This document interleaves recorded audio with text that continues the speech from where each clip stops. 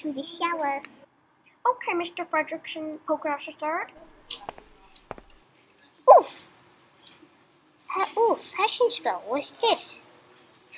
This, and this, and this. Oh, well, that didn't do anything.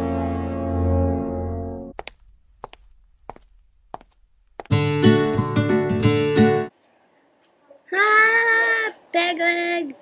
Huh? Oh, I'm so embarrassed. Uh, I'm gonna float away. Dang, my pants are normal, but I can't get down.